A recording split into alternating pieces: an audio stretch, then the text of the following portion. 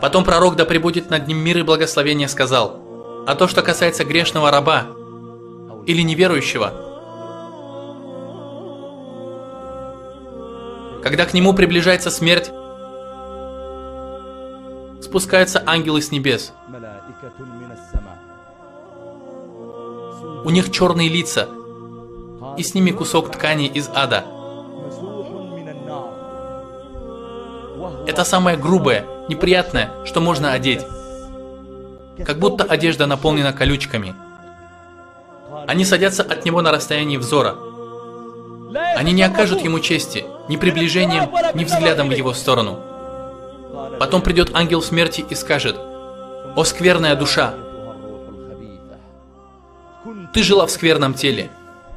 Твоя нога не знала мечети. Твои руки знали лишь прикосновение к соблазнительным и порочным женщинам, поднятие бокалов вина, занятие развратом, написание запретного.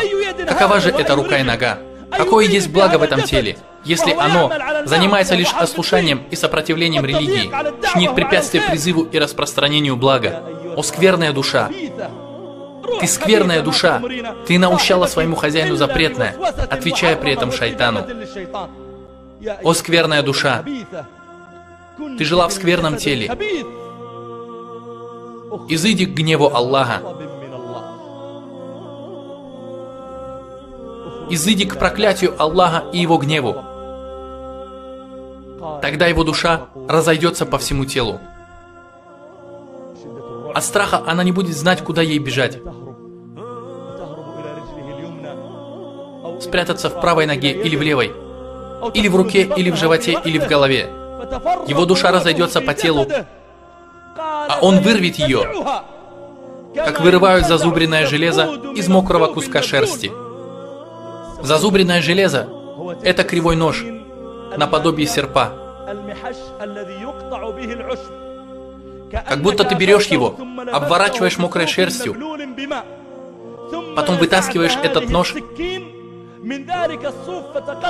и шерсть разрывается. Пророк, да благословит его Аллах приветствует, сказал, потом он вынимает ее, как вырывают зазубренное железо из мокрой шерсти. А когда он уже вынул, то не оставляет ее в руках ни на минуту, а отдает тем ангелам. Они заворачивают ее в тот кусок ткани из ада и возносятся с ней к небесам. Его семья рыдает по нему, имущество делится – Его дети плачут на его груди. Люди чувствуют горе.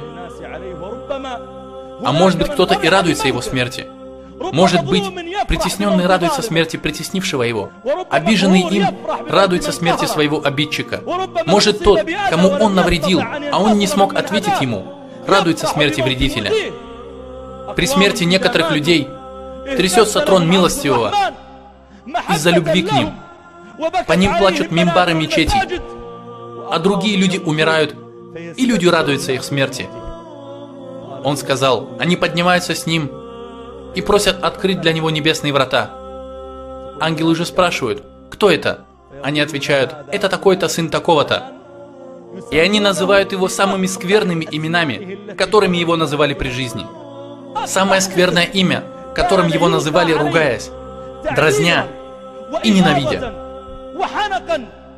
Имя, которое он не желал слышать при жизни, будет упомянуто, когда ангелы будут представлять его. Ты не заслуживаешь уважения.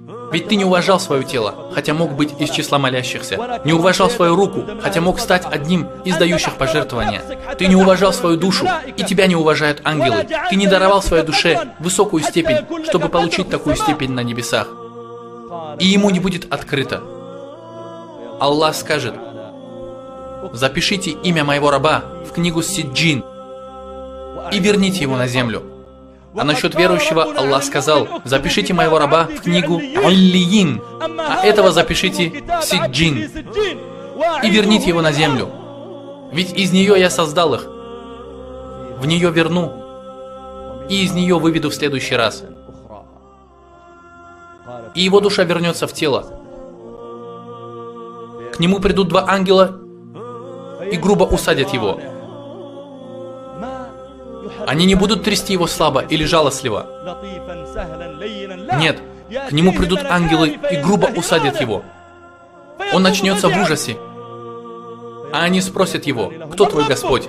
Он ответит им, «М -м, а, как будто он знал его при жизни, слышал его, ему о нем говорили при жизни.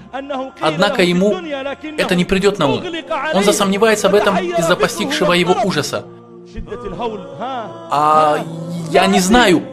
Они спросят его, какова твоя религия? Какой религии придерживался ты? Вообще, кому ты поклонялся в этом мире? Был ли ты настоящим рабом Аллаху? Или же ты был рабом своего полового органа, рабом своего бокала, своего имущества, своего кресла, своего положения. Из-за этого ты убивал и притеснял людей. Какова твоя религия? На какой ты был религии? А он ответит, я не знаю. Спросят, кто тот мужчина, который был послан к вам? Ты знаешь его? Его жизнеописание, его нрав, его сунны – ты любишь его? Следуешь за ним? Защищаешь его? Знаешь ли ты описание? Читал ли ты о нем? Кто тот человек, который был послан к вам? А он ответит, а я не знаю. Тогда ангел ответит, ты не знал и не читал. Ты был в этой жизни потерянным. И не читал ничего и не узнавал. Твоей заботой было лишь имущество и страсть, должность и кресло, твоя власть и трон. Это было твоим устремлением, а загробная жизнь осталась где-то под твоими ногами. Ты не знал и не читал. Пророк, да благословит его Аллах и приветствует, продолжил. Потом его ударят молотом, и если ударить им гору, она рассыплется, и он погрузится в землю на 70 локтей. Его могила станет настолько узкой, что перемешаются друг с другом его ребра – Аллах скажет, «Мой раб солгал. Расстелите для него огненные ложа, откройте для него врата в ад». И он почувствует адский жар и услышит наказание его обитателей и их крик. Потом к нему придет мужчина с отвратительным лицом и гнилым запахом. Невозможно будет не посмотреть на него, не вынести его запах. Этот ужасный и зловонный человек скажет, «Я сообщу тебе нечто, что тебя огорчит.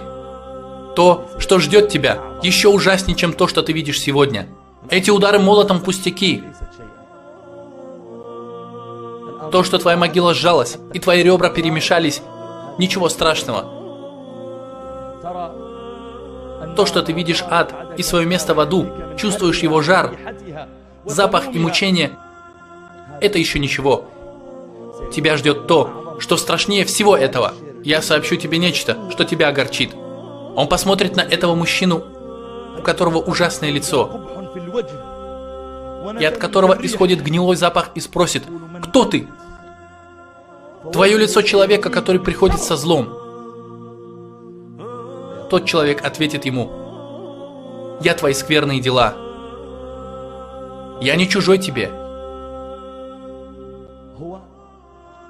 Это прелюбодеяние, представшее перед ним. Его распивание спиртного. Его пожирание людей имущества обманом. Его притеснение слабых при первой же возможности. Его ослушание родителей. Распитие вина. И то, что он просыпал намаз – убивал людей. Его суждение не тем, что не спасал Аллах. Это его молчание в побуждении к одобряемому и запрещении порицаемого. Это запретное, что он писал. Это его злословие и сплетни. Они все собрались вместе и готовы были стать горой, но стали мужчиной. Он скажет, я твои скверные дела. Он все время будет находиться с ним, и тот будет смотреть на его ужасное лицо и чувствовать этот отвратительный запах, претерпевать все это и говорить, «О Господи, пусть не наступит судный день! О Господь, пусть не наступит судный день! О Господь, пусть не наступит судный день!» Из-за того наказания, которое ждет его впереди –